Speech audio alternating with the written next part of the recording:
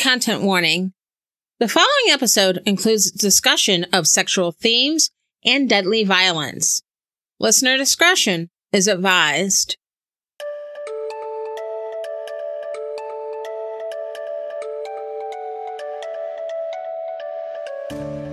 A pretty big godsend, for lack of a better word, when it comes to navigating my exit from evangelical Christianity has been the online communities that comprise the evangelical movement. And it includes sharing our stories. Some include manipulation, abuse, discrimination, and other severe harm perpetrated by exvangelical leaders and peers. Other stories include finding that evangelical doctrine or theology can be contradictory and leaves people wanting. Lots of cognitive dissonance. And still other stories touch on cult like beliefs within evangelicalism, such as purity culture, quiverful, and Christian dominionism. Or a mix of all those and more. But what seems to come up a fair amount is that, as far as the setting goes for these evangelical experiences that lead people to leave the tradition, and in some cases Christianity as a whole, especially in the United States, is that these evangelical spaces tend to be overwhelmingly white. And that shouldn't be particularly surprising. Reverend Dr. Martin Luther King Jr. once said, quote, It is appalling that the most segregated hour of Christian America is 11 o'clock on Sunday morning, end quote. And he wasn't wrong. And if he were alive today and made this observation, he wouldn't be wrong now either. The vast majority of churches are overwhelmingly of one race. Also, the leadership of most evangelical churches specifically tends to be overwhelmingly cisgender, straight, white, male. Part of this is the legacy of history. For example, the Southern Baptist Convention, the largest evangelical denomination in the U.S., got its start due to member churches' support for slavery prior to the Civil War. The Assemblies of God, a major Pentecostal denomination, began as an outgrowth of an interracial revival movement in the early 1900s, led by a black preacher, William J. Seymour.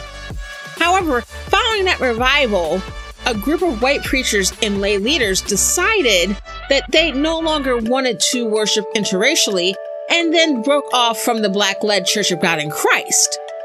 Racism is baked into the DNA of evangelicalism, but historical roots aren't the only reason for the glass ceiling of leadership. Some evangelical congregations and denominations have explicitly barred women and LGBTQ people from leadership roles. Others may not have it listed in their bylines, but it's implied. Unfortunately, especially for people who are LGBTQ some seeker friendly evangelical churches say they welcome everyone, and because of that, people who are LGBTQ start attending regularly and get emotionally and financially invested, only to find out once the hooks are in deep that, well, we love you, but we hate your sin, so you're unfit for leadership. By the way, this is a huge reason why the church clarity movement is so important. If you truly think you're right about your anti gay and anti trans beliefs, you shouldn't be afraid to be transparent about that. Even churches that have sought to break down these barriers struggle with integrating their leadership with those who break the cisgender, straight white male mold. Is it any wonder that exvangelicals are disproportionately women, LGBTQ, or people of color?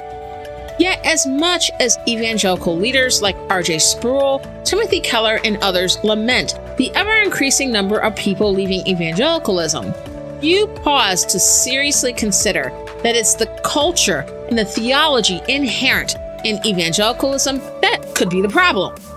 It's almost always the leavers.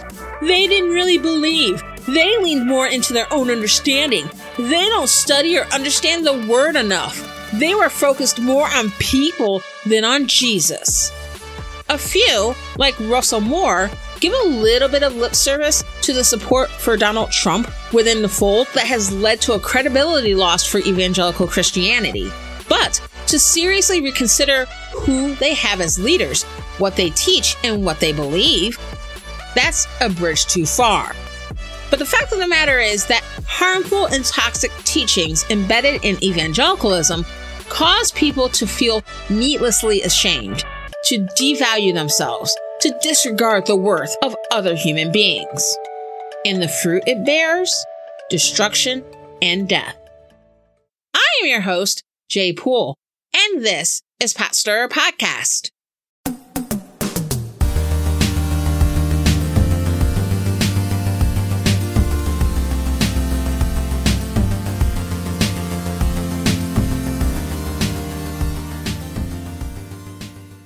Welcome to Potstirrer Podcast, where politics, religion, and history collide, and it's not always polite.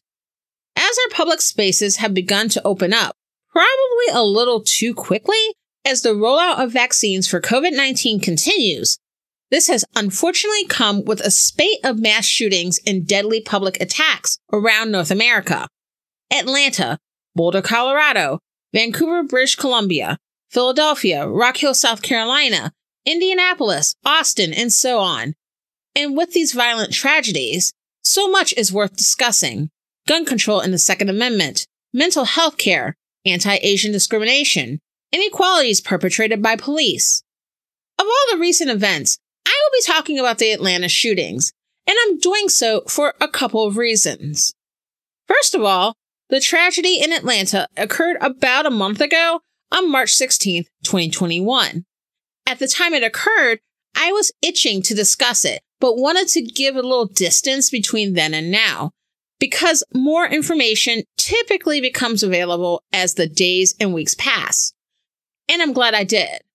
The other reason is that this deadly spree shooting case speaks to a number of issues in the United States in sort of a unique way. Of course, like many high profile shooting incidents, this case helped to reignite the debate between gun control advocates and Second Amendment supporters as to how best to respond to these incidents. And the high number of deadly shooting incidents in America more generally, so that such loss of life doesn't happen again. But in the Atlanta case, there's even more here to unpack. The killings took place in three Asian themed massage parlors. While there isn't any concrete indication I can find that these parlors dealt in sex work, nor that the victims were sex workers. Massage parlors in the United States tend to invoke thoughts and images of sex work and human trafficking.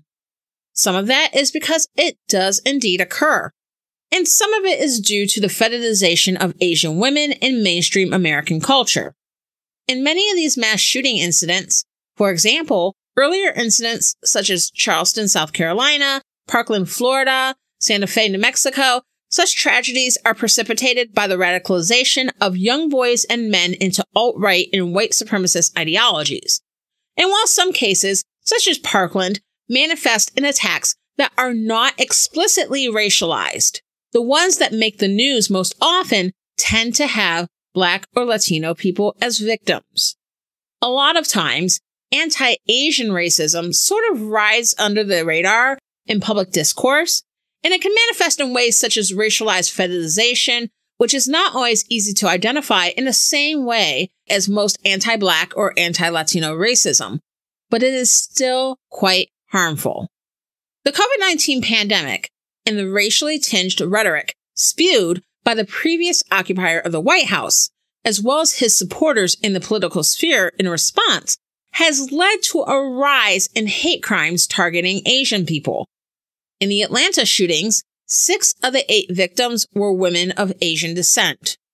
Yet other aspects of this case, such as the response of the police, both on the scene and when speaking to the press, hits on similar notes when compared to racist incidents involving Black and Latino people as targets. And let's not forget the added dimension of religion. I've discussed the problematic nature of evangelical Christianity multiple times during the four years this podcast has been running.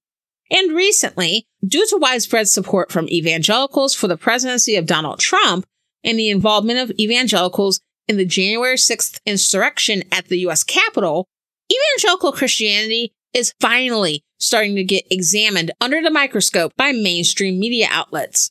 And that treatment is long overdue.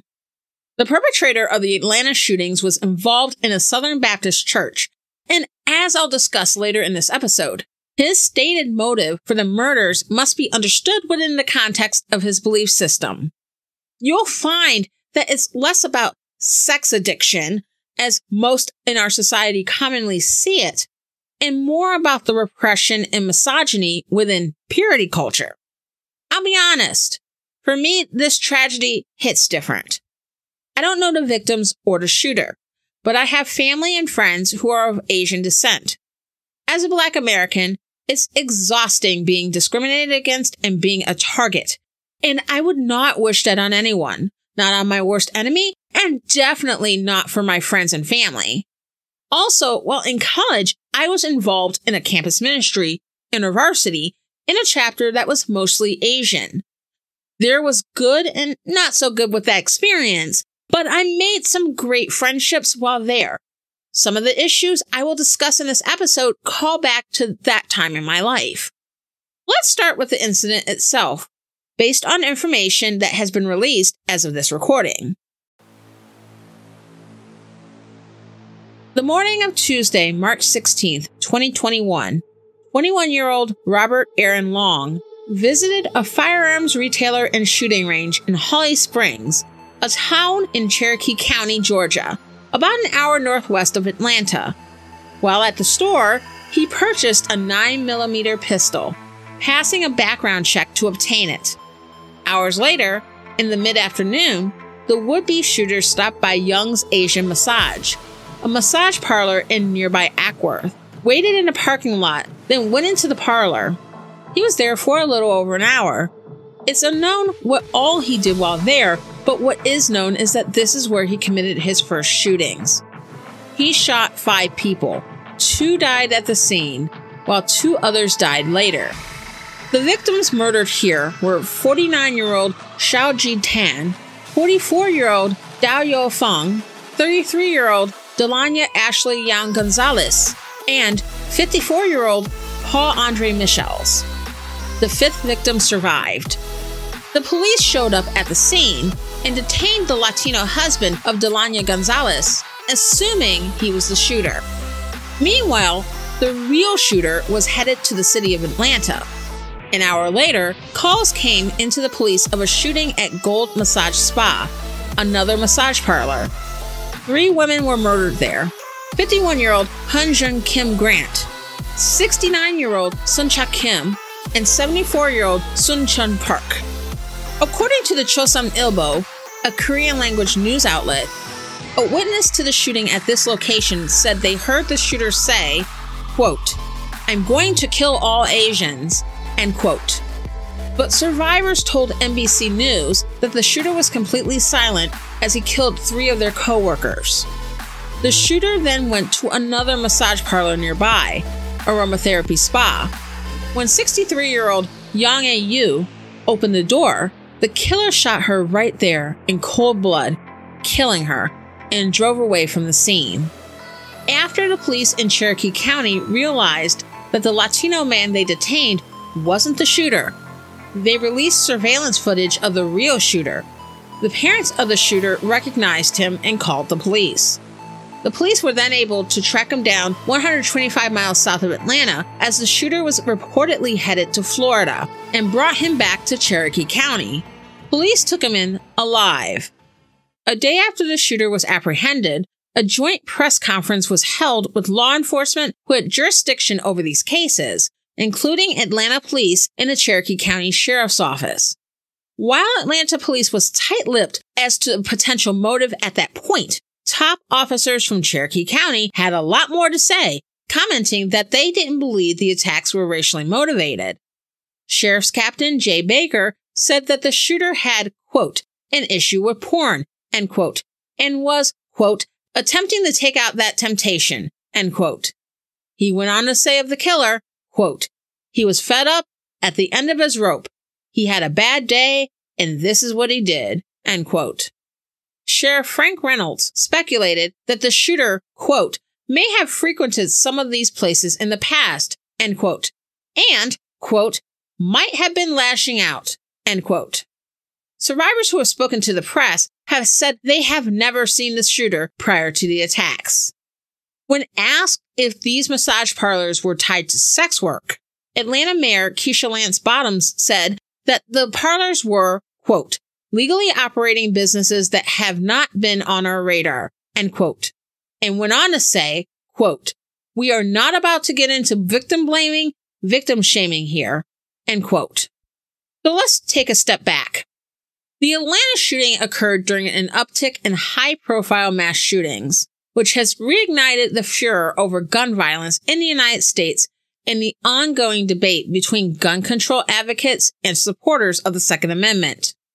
The sheer amount of gun violence in this country, even when we take into account population size, is horrifying.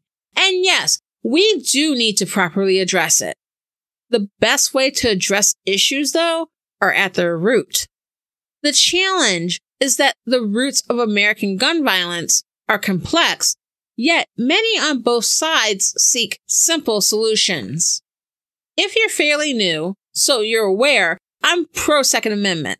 Some may see that as an odd position to take, given that I'm progressive in my politics and I take leftist positions on most economic and social issues. But then again, there's the saying, if you go far enough left, you get your guns back. Most Second Amendment supporters in the United States are either libertarian or conservative, and on that side, the thing is that the status quo isn't working. On one hand, on the whole, with a few anomalies here and there, crime has decreased over the past 25 to 30 years. On the other hand, while we're seeing a decrease in overall gun incidents, serial killing and the like, mass shootings have increased. Many Second Amendment advocates, particularly on the right, will either say we should enforce existing gun laws or we should focus on mental health. We should definitely enforce existing gun laws and also get rid of any caveats or loopholes that are being exploited. But that's not going to prevent circumstances such as the Atlanta shooting and a number of others, situations that a background check won't prevent. Mental health issues are often brought up as well, especially in instances where perpetrators without prior criminal records commit mass murder. The argument is generally that these are lone wolves who had problems, so there was no way to prevent the incident in question from happening. But there are a couple of issues with this. The vast majority of people with mental health struggles are not violent, and the association made between violent shooters and mental health can be stigmatizing for the vast majority of those who struggle with mental health issues. The last thing we want is to make people feel ashamed, feared, targeted, or judged when they need help. And here's the other part of this. We need to make mental health care universally accessible. And I'm not talking about temporary psychiatric holds or 5150s. I'm talking about publicly funded access to professional counselors, therapists, and psychiatrists to where people don't feel like they have to put off talking to someone or sharing their symptoms with a psychiatrist so they can be properly treated. The thing is, most deaths from firearms are not from mass murders or spree killings, but from suicides. And when people are considering ending their lives, it's important for them to have access to professionals without worrying about burdening themselves or their families with the cost or without having to worry about taking too much time off from work or school. Many on the right who blame mental health for mass shootings also oppose universal health care, seeing health care as a privilege for hardworking people and not a right. Yet, if they were truly concerned about mental health and it wasn't simply some deflection, they would see healthcare, including mental health care, as a public health issue rather than a privilege reserved for those who can afford it. And we're not even going to entertain this idea that we wouldn't have mass shootings if everyone were armed, whether it's teachers or resource officers or your regular Joe walking down the street. We have a hard enough time with trained police officers not knowing their taser from their standard issue Glock. If Mrs. Smith thinks Juan and Jaquan in her second period math class are behavioral problems, should she really be packing heat? And I say this as someone who has the utmost respect for teachers. They truly have a difficult job. But I'm also aware of the racial and ethnic disparities in school discipline. And the last thing we need is to add firearms to that equation. Now, let's discuss the other side of the gun debate those in favor of gun control. It seems like a simple solution get rid of the guns, get rid of the shootings. In a vacuum, sure. But nothing ever happens in a vacuum. Gun control in the United States has never been rolled out equitably. When it's rolled out, the targets are more often than not people of color. And the focus of gun control is often urban areas that are majority people of color. And this is how it's been for a very long time.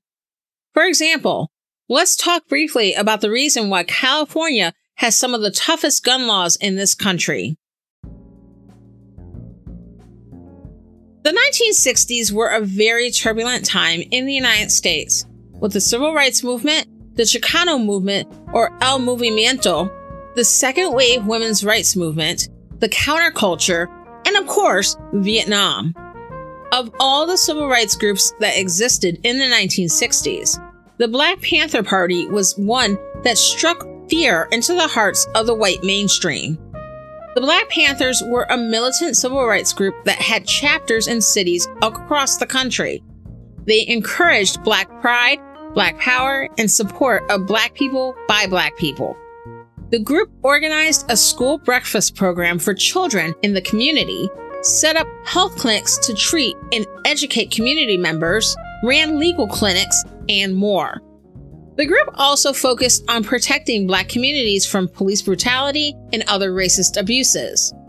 Instead of taking the nonviolent stance of groups like the Southern Christian Leadership Conference, they believed that the Black community had the right and duty to defend itself. So, Black Panthers would conduct armed patrols of their neighborhoods using the Second Amendment and state law that at the time allowed open carry of firearms. The Black Panthers were targeted by FBI Director J. Edgar Hoover, as well as law enforcement and government officials on state and local levels. One of the ways the Panthers were targeted was through gun control legislation. In 1967, California Republicans, with the support of Democrats, pushed a gun control bill called the Mulford Act that would disallow open carry of firearms. This bill was aimed at disarming the Black Panther armed patrols and was supported by the National Rifle Association, or the NRA.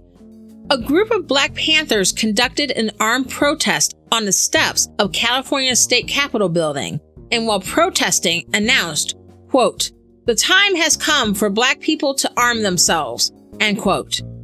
After this protest, an addendum was added to the Mulford Act prohibiting loaded firearms in the state capitol, and the act was passed by the state legislature and signed into law by then Governor Ronald Reagan. Yes, that Ronald Reagan. This started California down the road of having some of the strictest gun laws in the country. So let's say we're somehow able to execute gun control laws that in practice actually apply to everyone, regardless of race, ethnicity, religion, geography, or region. Would that work out? No, not really. A lot of law abiding Americans own firearms to protect themselves, whether it's in their homes or businesses or out in public. If people can't protect themselves, someone else will have to fill that void. In, in our society, that job would fall to the police. The same police who can't tell a taser from a handgun, the same police who can't seem to keep from killing young boys and men, young women and girls of a certain color and hue because their existence makes them fear for their lives.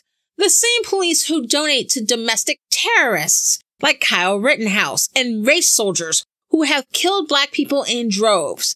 The idea that we should submit to strict gun control measures and therefore trust the police to protect us the police who have shown they cannot be trusted to protect and serve all Americans equally.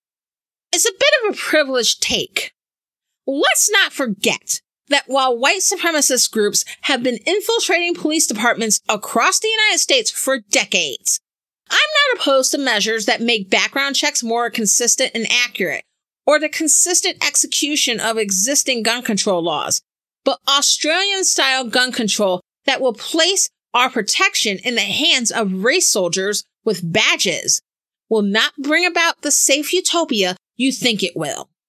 When we look at the Atlanta spa shootings, we run into some familiar tropes.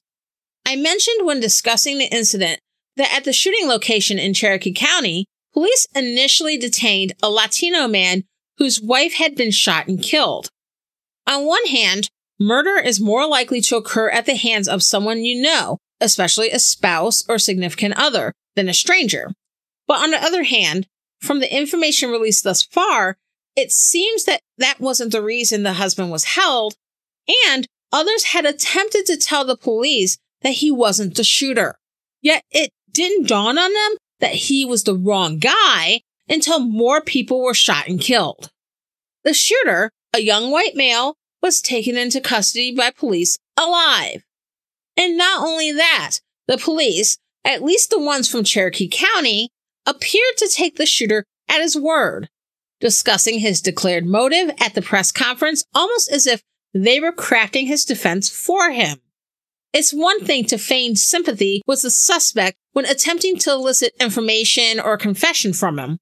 It's another thing entirely to communicate with the public and by extension, potential jurors, that what the shooter did doesn't constitute a hate crime. He's struggling with a sex addiction, imply that the victims were sex workers he may have patronized prior to the shooting, and that he's just a young guy having a bad day.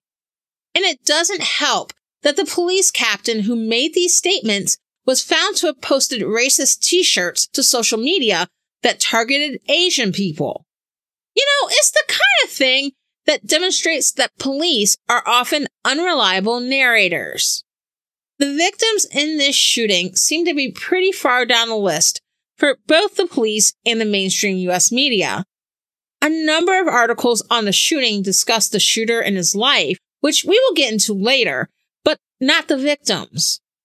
Even the Wikipedia page for the incident doesn't name the victims, at least as of this recording. It took me a bit of searching for me to find their names and even more searching to find information on them, but I felt it was important to do so.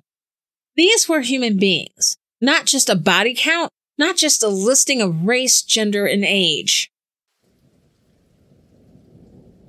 Daoyou Feng was originally from a small town called Liaodong in rural China, where her parents worked on a farm to provide for her, her two brothers, and her sister. But when her father died, she dropped out of school to work on the farm. She left home at 14 to make money to send to her family, and in 1999 left for the United States. Here in the States, Daoyou worked in cosmetic salons and massage parlors. She had planned to move back to China to open her own salon, but the pandemic kept her from leaving. She moved to Atlanta to find better employment and had been working at Young's Asian Massage in Cherokee County for only two or three months. Xiaojie Tan, who friends called Emily, was the owner of Young's Asian Massage and also owned another massage business. She was originally from Nanning, China, which is along China's border with Vietnam, where she had a daughter. She met her then husband, an American, while he was in China on business. They married, and in 2006, she and her daughter, who her husband adopted, were brought over to the US.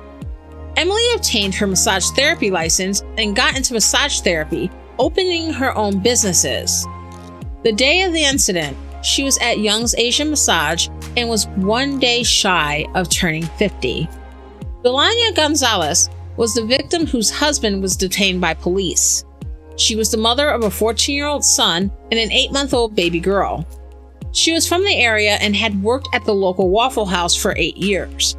Delaina and her husband had been married for less than a year and had visited Young's Asian Massage together for a couple's massage as a treat to enjoy themselves away from their kids. Paul Michels was originally from Detroit and the seventh of nine children. He had served in the United States Army in the late 1980s. He moved to Atlanta in 1995 to get into security system installation and in 1997 got married. He later opened his own security system business, but recently he had been out of work due to the pandemic. Paul then took a job helping out a construction site at Young's Asia Massage. He was just finishing up hanging up a shelf when the incident occurred.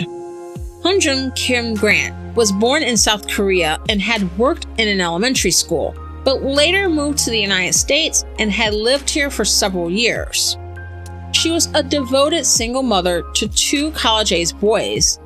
Hyun Jung had been employed in massage spas for a number of years and had tried to shield her sons from knowing where she worked due to the reputation these spas have for sex work and not wanting her children to worry about her well being. She worked long 12 hour days at Gold Spa in Atlanta to support her family. Soon Chung Park was a lively, healthy grandmother who had emigrated from South Korea in the early 1980s. She had been widowed in her country of birth and was supporting five children as a single mother.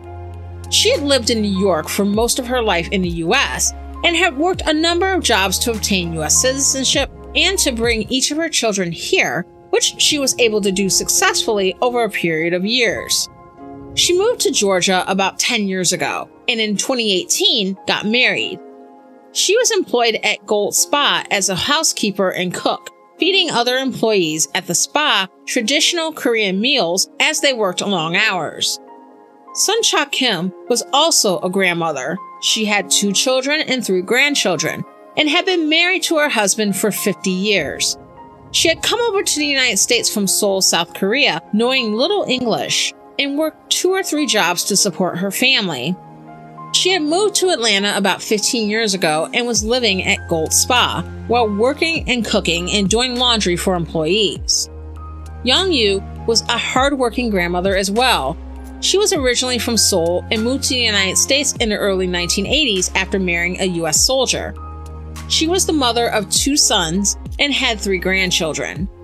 She was a licensed massage therapist and had worked in the industry for years, but had been laid off in 2020 due to the pandemic. She had recently been hired at Aromatherapy Spa and, according to her family, was excited about working again. These were real people with lives, with families who loved them, people who worked hard to provide themselves and those they cared for with a good life. What has bothered me a lot about the police narrative regarding this case is that this is being discussed as a human trafficking or sex work related case, and that they've claimed is not a hate crime simply because the shooter said so. The implication, at least from my perspective, is that the police are categorizing the victims, especially those who worked at the spas, as the less dead. The less dead is a term used to describe sex workers and members of other marginalized communities who are murdered and are sort of talked around, but not talked about as real people. The less dead are simply seen as labels, prostitutes, homeless, illegal aliens. They never existed. They're just another body. There's little pressure from the public to solve their murders or prosecute their killers and therefore the police don't really care all that much either. The women involved in this case, who were employees at the massage parlors, had lived in the United States a long time. I haven't seen anything confirming they were sex workers, but even if they were, they didn't deserve to go out like this. Their lives mattered.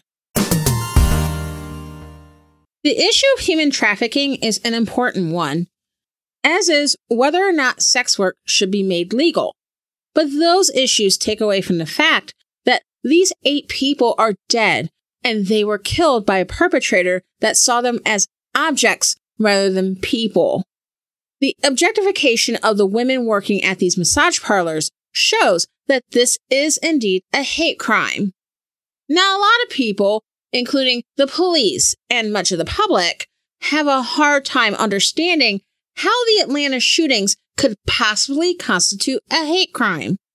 A lot of times, when we think of hate crimes, we think of tragic incidents, such as the mass shooting of black church members in Charleston, South Carolina by a white supremacist who had clearly stated hatred for black Americans, or the mass shooting in El Paso, Texas, where the killer explicitly targeted Latino Americans at a local Walmart because he believed in the Great Replacement, an idea pushed in alt right and white nationalist circles that white people are being replaced by other races of people.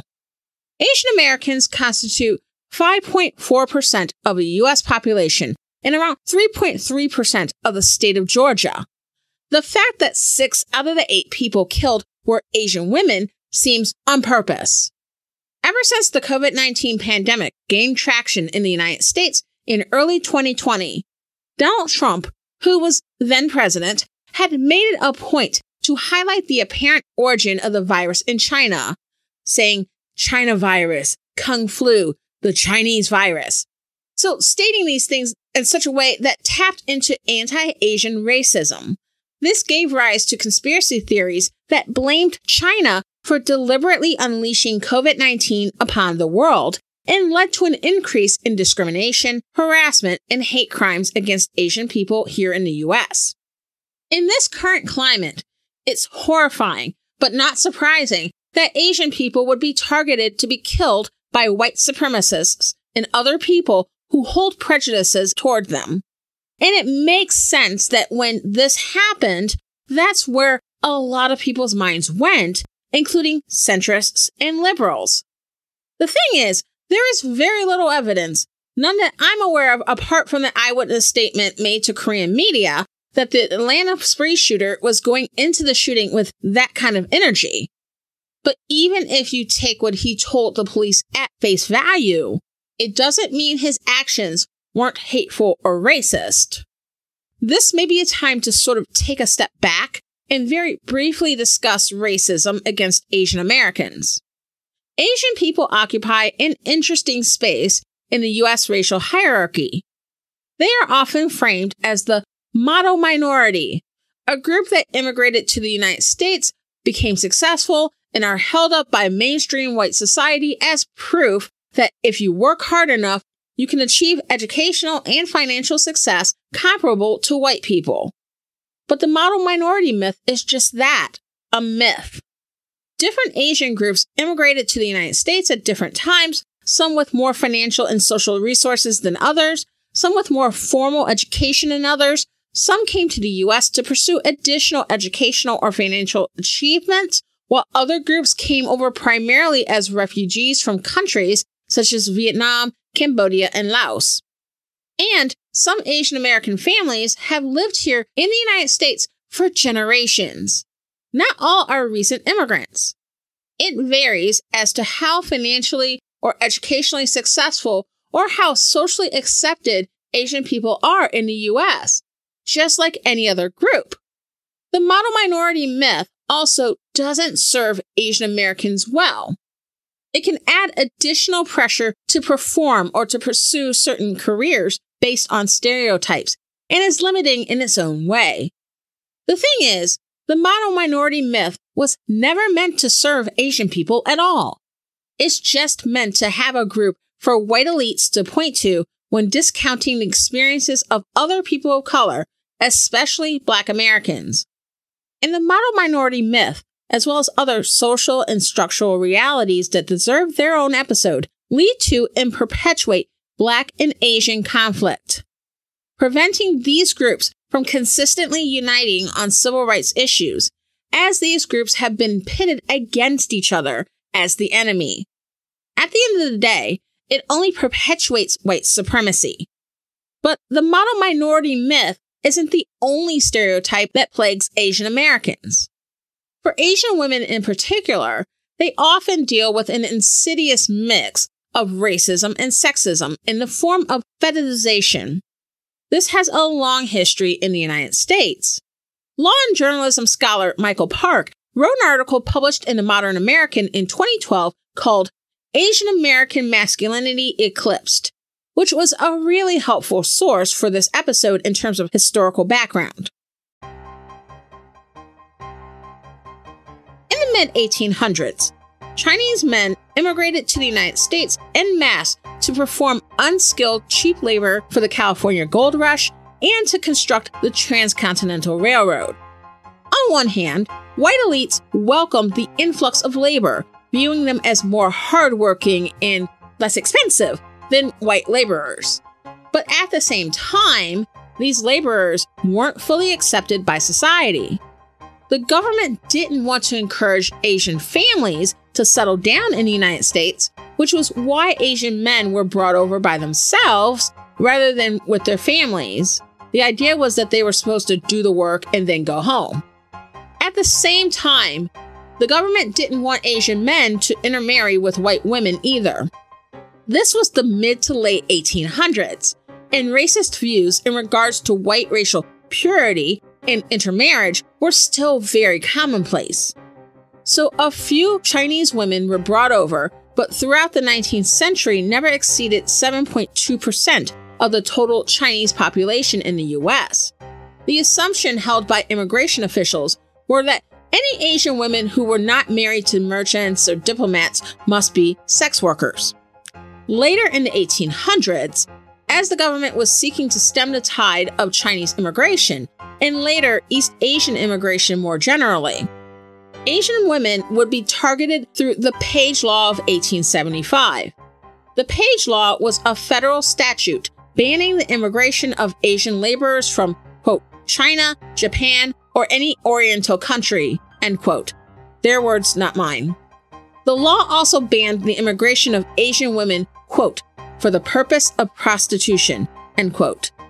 In practice, the law didn't really do anything to stop the flow of laborers arriving from countries like China and Japan, but it made it more difficult for Asian women to immigrate leading to a 68% decline in Asian women entering the US from 1876 through 1882.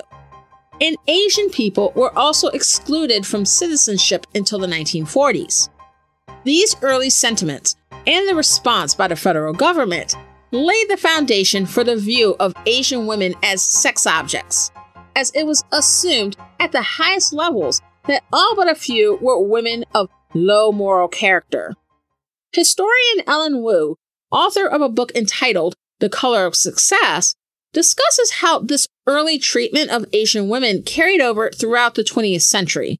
She says, quote, these associations that Americans already have of Asian women being engaged in this lewd and immoral type of behavior gets amplified as the United States begins a series of imperial excursions, essentially, or wars in the Asia Pacific region. End quote.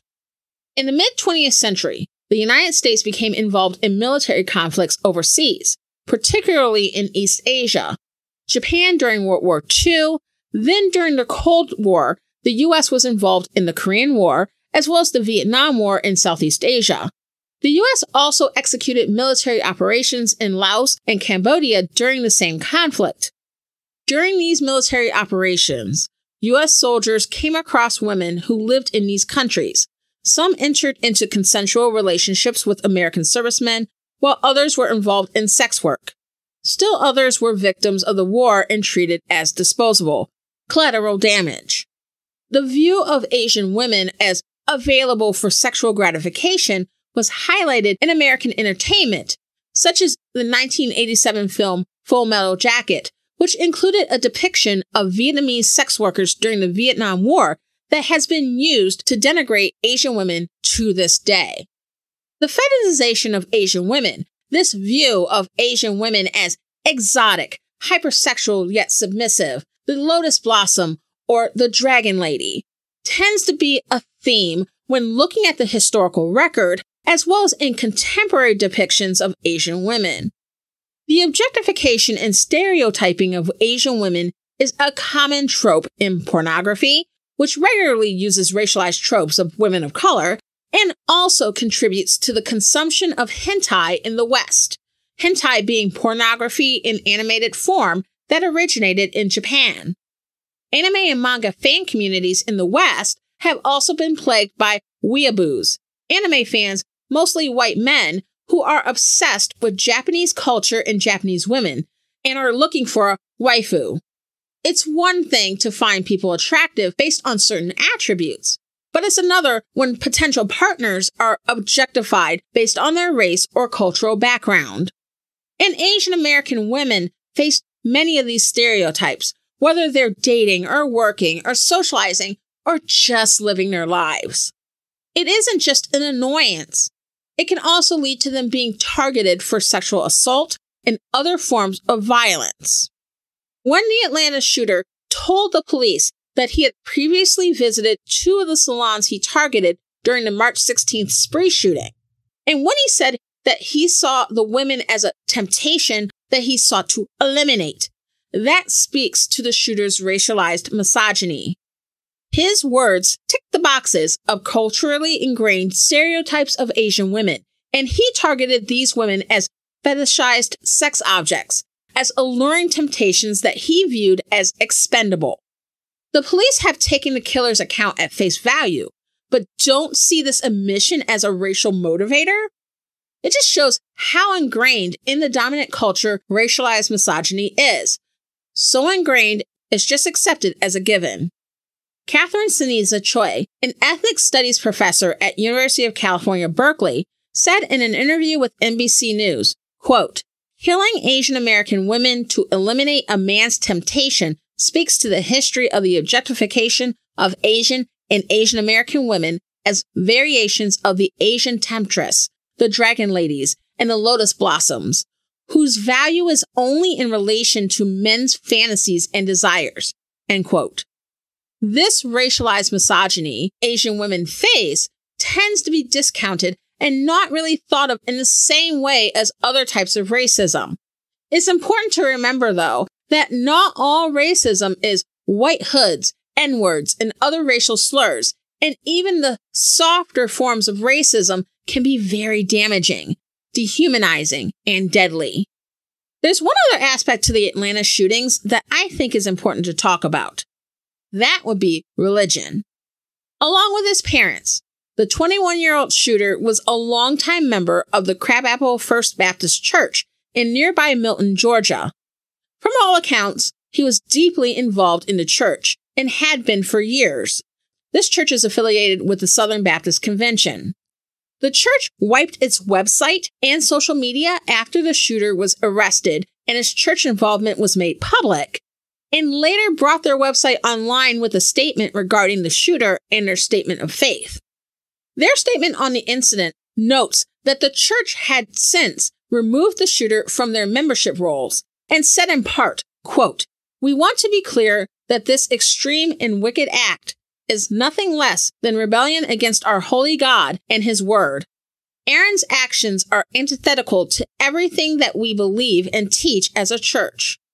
In the strongest possible terms, we condemn the actions of Aaron Long as well as his stated reasons for carrying out this wicked plan.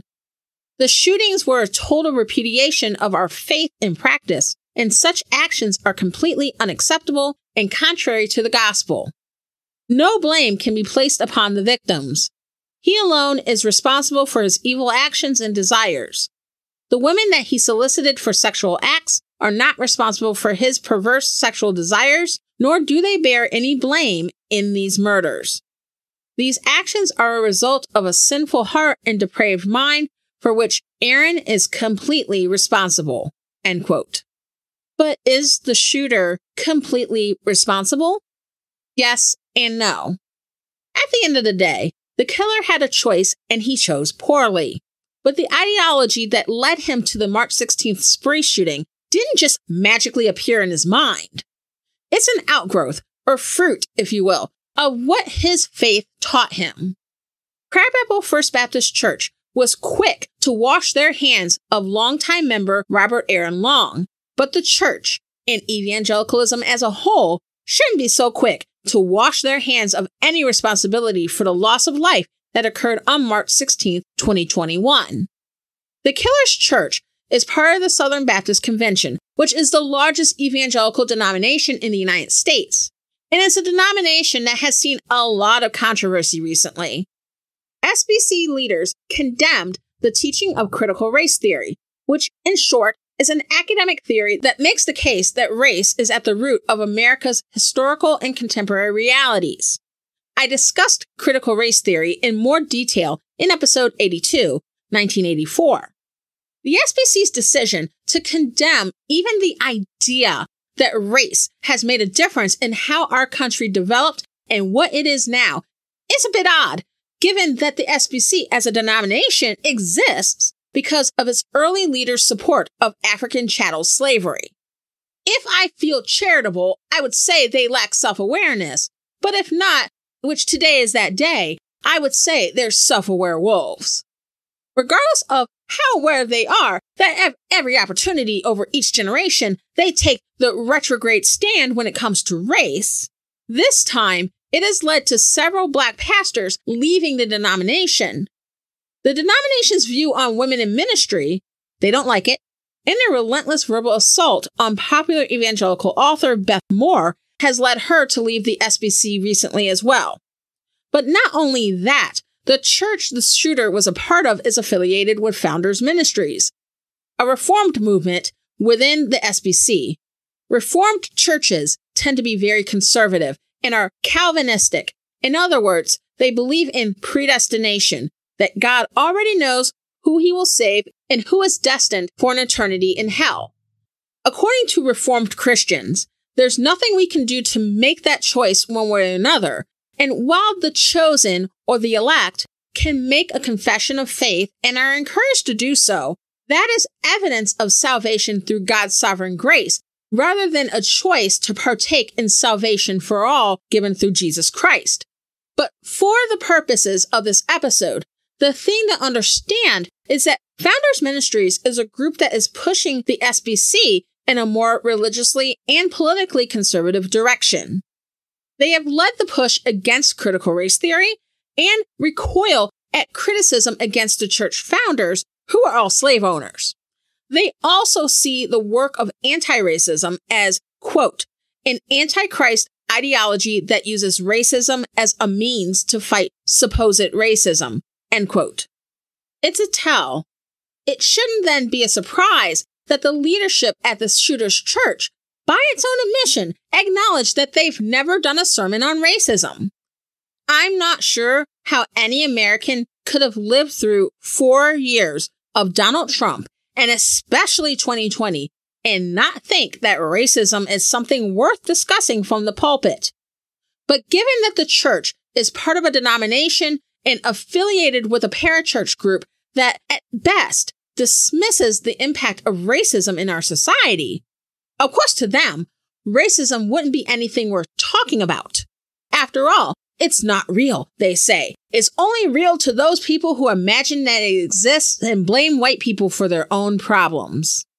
And then, after such a tragic killing perpetrated by one of their own church members, their associate pastor, Luke Folsom, fixes his mouth to say to his congregation, quote, We don't have answers. We don't know why this happened. End quote. Well, the shooter claimed to have a sex addiction and he confessed that he committed the murders because he wanted to, quote, eliminate temptation, end quote. But let's talk about what that actually means.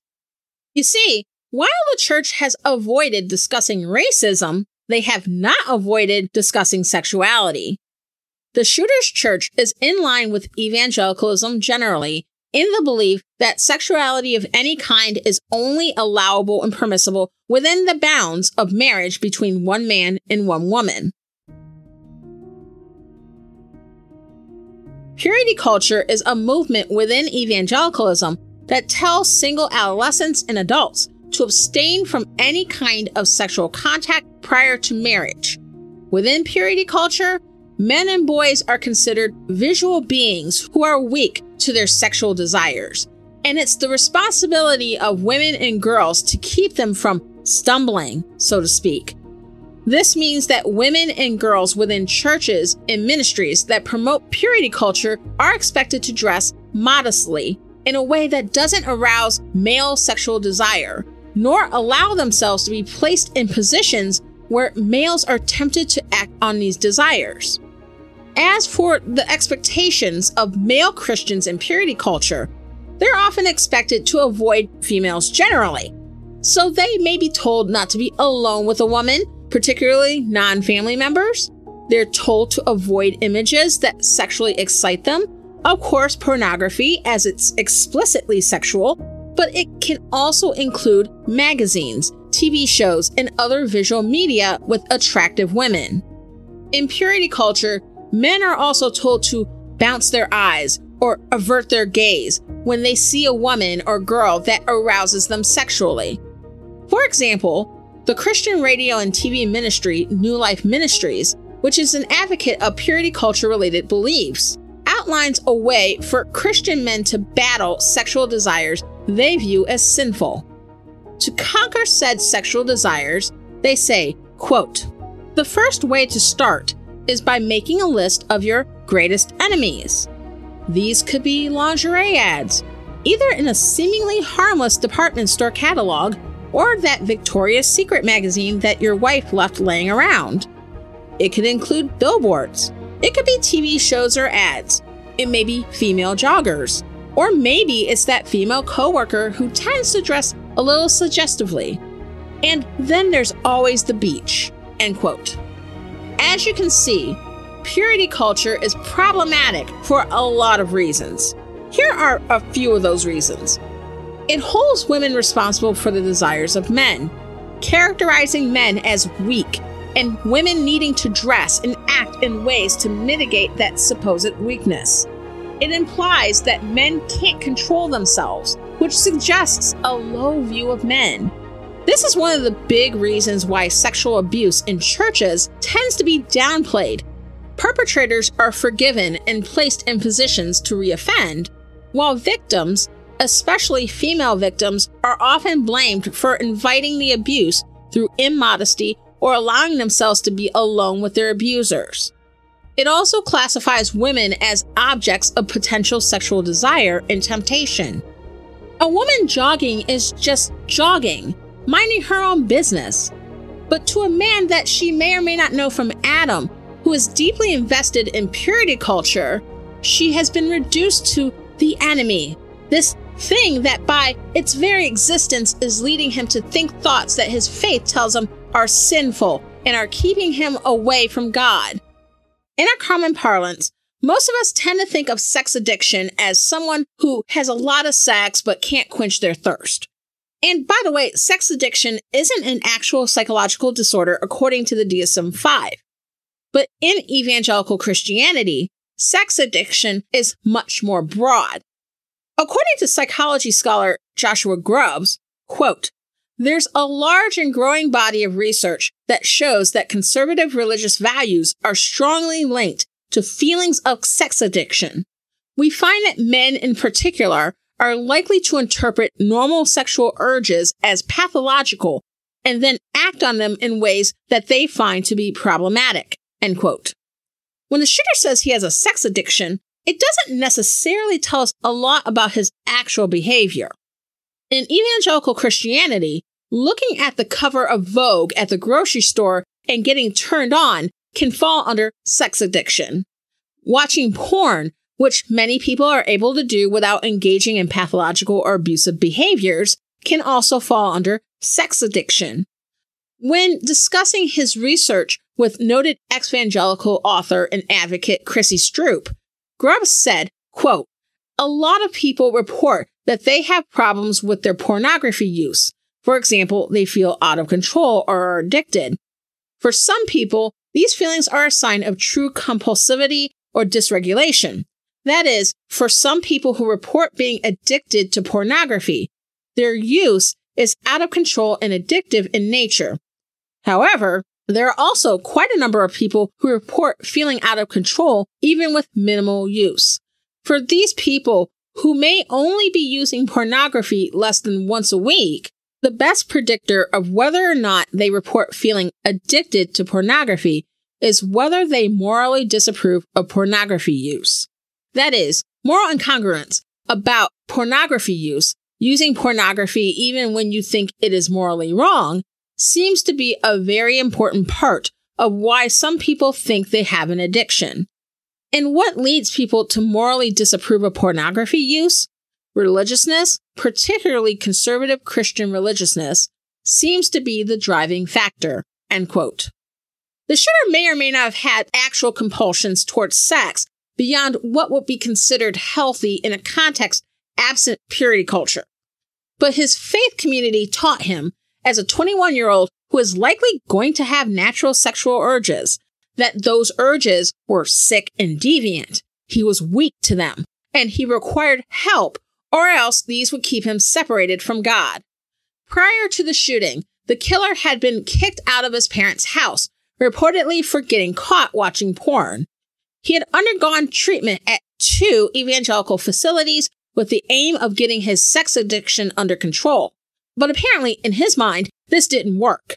He had apparently visited Asian themed massage spas before. It's not clear if he received sexual services there or not.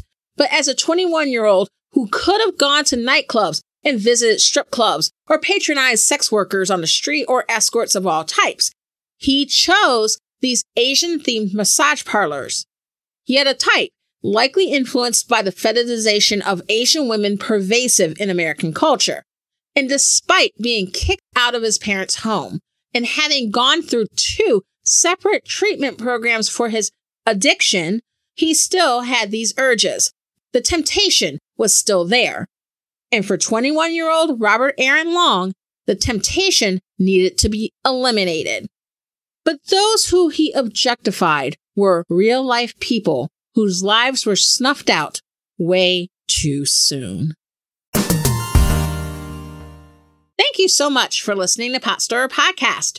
If you enjoyed this episode, subscribe for free on Apple Podcasts, Spotify, Amazon Prime, or on your favorite podcast app. Check out potstirrerpodcast.com slash download, and the links are right there.